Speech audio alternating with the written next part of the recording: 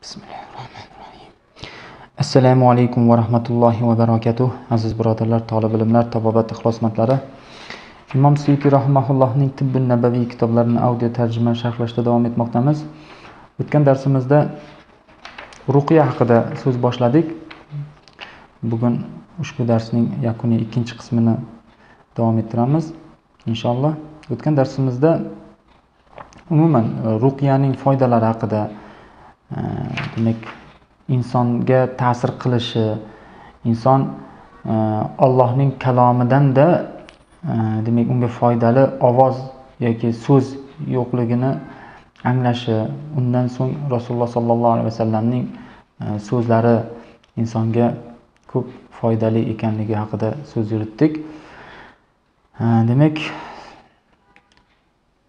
umar ibn al hattobdan roziyallohu anhudan mana shu ruqya e, sayyoh uchun oziqa zodi rohila deb ham yakunlagandik. Davom ettiramiz. Bugun 10 avgust 2021 yil. Abdulloh ibn jafar ruqyani juda yaxshi ko'rar edilar deydi. Bir kuni az zuhriydan so'rashdi nega siz kuylarni yaxshi ko'rmaysiz deb. Shunda u zot javob berdilarki ha men ularni yaxshi ko'rmayman. Agar ular e, demak rohat olib kelmasa juda ham mahzunli e, zerikarli insonni juda erk berib yuboradigan bo'lsa ularni yoqtirmayman dedilar. E, demak mana ko'ryapmizki ba'zi mm, demak sahobalar imomlar turli kuylardan o'zlarini uzoq tutishgan.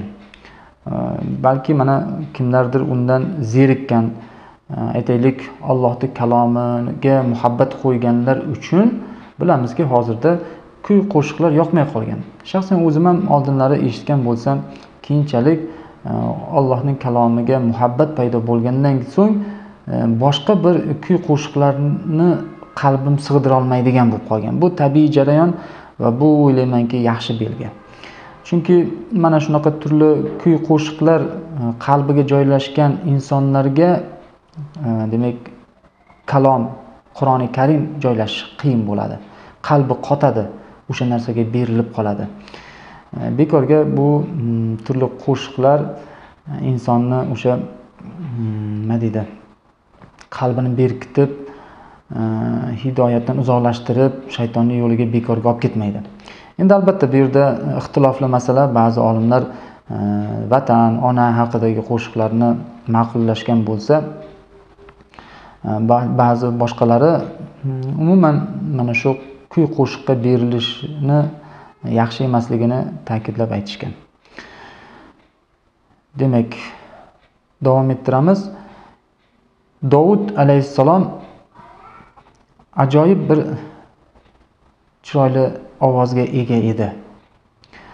Hattoki uning e, bir noto'g'ri bir amallari bo'lgan taqdirda ham u zot bir e, nima deydi qiyinchilik har xil holatlarga tushganda ham bu kishida dovud alayhissalomda ajoyib bir go'zal ovoz bor edi.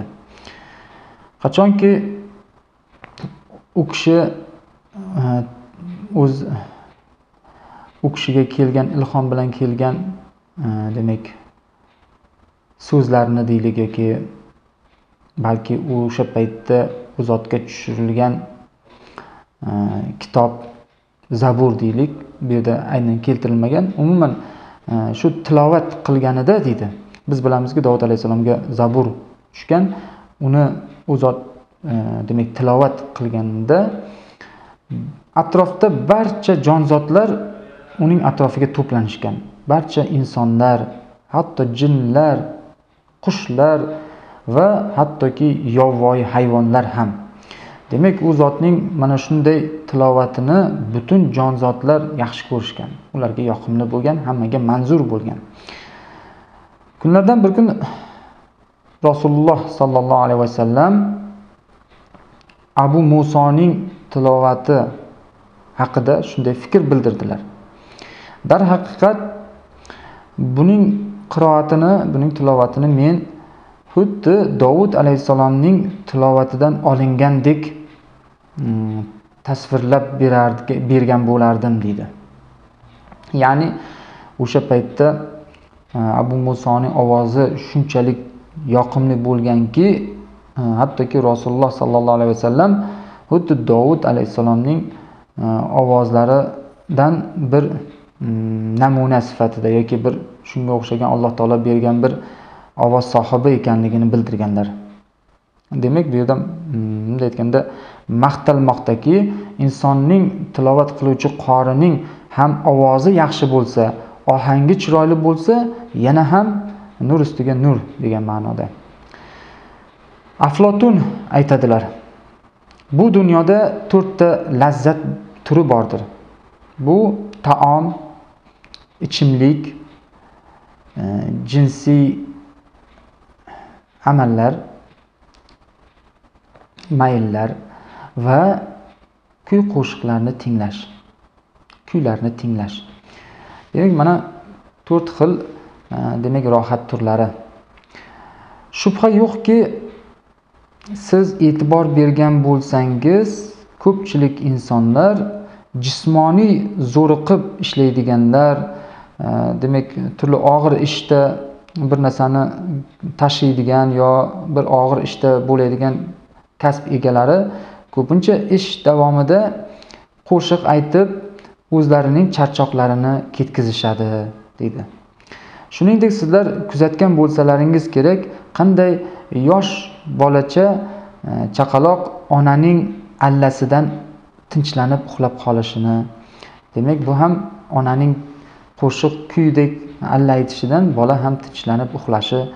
Shuningdek e, tuyalarni uzoq masofani kesib o'tish uchun ularga demak qo'shiqlar aytib berilganini bilasiz demoqda muallif. Shunday bir hikoya borki voqea bir kuni bir arab e, demak ovozi ajoyib shirin demak ovozli bir arab bo'lgan ekan. Qachonki u tuyalarini ustiga juda og'ir yuklar bilan demak uzoq bir masofani o'tayotgan ekan va unda tuyalari uchun qo'shiq kuylab o'tar ekan. Bir kuni shunaqa bir tuyalardan biri uch kunlik bir martada uch kecha kunduzlik masofani bosib o'tdi. Shundan so'ng u manzilga yetib yiqilib vafot etdi o'ldi. Demak mana e, shunday holatni tasavvur qiling. Uch kecha kunduzlik masofani bittada bosib o'tib tuya yerga yiqilib o'ldi. Agar bir tuyaga mana shunday go'zal bir ovoz shunchalik kuchli ta'sir qilgan bo'lsa hattoki u tuya u so'zlarning qo'shiqdagi so'zlarning ma'nosini anglamagan bo'lsa ham unga shunchalik kuchli ta'sir qilgan ekan. Aniqki batariqa a'loki insonlar o'zlarining bir e, ta'bga ega bo'lgan e, ziyoli bo'lgan ayniqsa ovozlarning e, demak farqini anglaydigan ajratadigan so'zlarning go'zalligini ma'nolarini tushunadigan kishilar uchun e, bu bunaqangi kuy albatta juda e, ahamiyatlidir. Kuchli samara berishi aniqdir deydi. Darhaqiqat hammamiz bir nima deydi ollohni maxluqlarimizki e, bu ovozga ovozlarga biz ham ta'sirlanamiz. Hattoki hayvonlar ta'sirlanmoqda. Inson batariqa alo. Yana ayniqsa bu yerda allohning kalomini tasavvur qilsak yana ham ta'siri kuchlidir. U o'tgan darsimizda aytganimizdek u so'zlarning ma'nosini anglashlik yana ham bu ta'sirni ko'plab barobar kuchli bo'lishiga sabab bo'ladi. Balki sizlar payqagan bo'lsalaringiz kerak e'tibor bergan bo'lsalaringiz shunday bulbullar hattoki qushlar borki ularni nomi ashshuhrur deyiladi. Ular o'zlariga ma'lum bir joylarni tanlab joylashadiki bir birlarining e, demak sayrashlarini tinglashlari uchun. Ya'ni qushlar mana shu e, bir biriga sayrashadiki yoki ba'zilari o'sha e, boshqa qushlarni aytaylik bu yerda bilamiz ko'pincha э, urg'ochi qushni o'ziga jalb qilish uchun э, nari ko'pincha narqush э, turli xil sayraydi o'shani o'ziga jalb qilish uchun. Demak bu qushlar bir birini tinglash uchun ham o'zlariga qulay maxsus joylarni axtarar ekan. Demak bularda ham bu narsa juda e, ahamiyatli ekanligini ko'rsatadi. Endi e, kuy qo'shiqlarni tinglash halolmi halol emasmi degan masalaga kelsak deydi muallif imom al imom suyutiy ba'zi olimlar aytishadiki bu turdagi lazzat joiz etilgan. Boshqalari esa nojoiz deyishadi.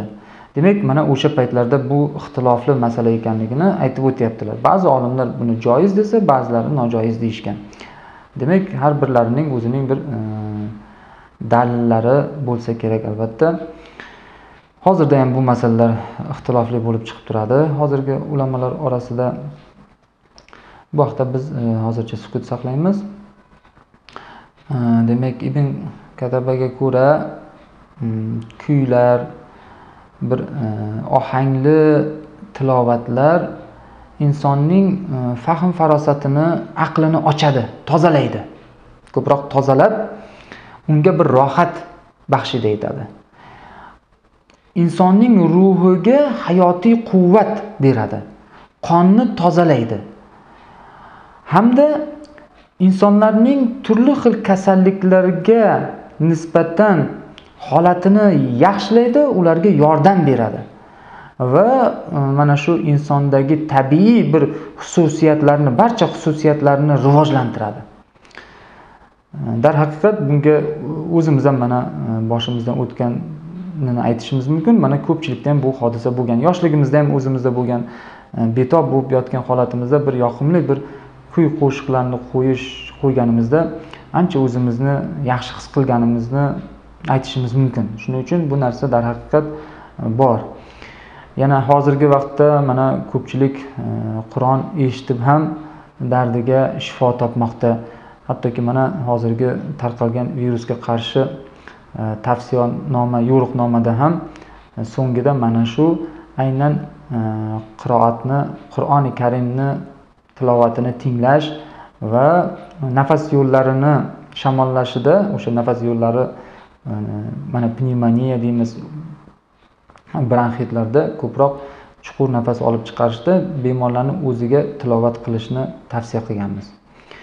Endi albatta bu holatga qarab e, foyda zararni inobatga olinadi. Davomida yakunida imom suyuti aytadiki kuylarni tinglash ko'plab ba'zi kasalliklarning davo choralarining bir qismi hisoblanadi. Ya'ni o'sha davolanish uchun kuylarni tinglash tavsiya etiladi. Ayniqsa mm, turli xil e, ruhiy kasalliklarda holsizlik toliqishlar turli bosh e, turli xil mm, kasalliklarda. Demak mana e, bu borada mana shu demak ma'lumotlar kelgan ekan. Ibn sino boshqa mm, katta tabiblarda ham aynan e, kuylarga qo'shiq turli xil ohangdagi e, qalbga yoqimli mm, kuy qo'shiqlarga ham ajratilgan boblari bor. E, bu borada mm, demak ilmiy ishlar ham hozirda balki qilingan. Mana eshitamizki hattoki ollohning ismlarini tinglash e, qanchadir har bir ismni takrorlash ma'lum bir kasalliklarda ijobiy natija berganligini eshitamiz. Bu ilmiy ishlar e, demak dunyo bo'yicha o'tkazilgan. Hattoki e, demak iymon ya'ni musulmon bo'lmagan kishilarda ma'nolarini umuman anglamaydigan arab bo'lmagan millatlarga ham e, hattoki mana shu e, qur'oni karim tilovati allohning go'zal ismlari to'qson to'qqiz ismlari foyda berganligi haqida ma'lumotlar ko'p. Shuning uchun albatta kalom insonga ta'sir qiladi. Sehrli ta'sir qiladi kerak bo'lsa. Ya'ni bu yerda yaxshi foydali tomonini olish kerak. E, demak ba'zilarda hattoki gipnotik gipnotik holatga ham keltiradigan bo'ladi. Ba'zilar so'z sehri bilan odamlarni avrab qo'yadi. Demak bularni hammasini inobatga olish kerak va bundan foydali tomonlaridan foydalanish kerak foydali tomonlaridan e, inobatga olish kerak zararlardan uzoqda bo'lish kerak.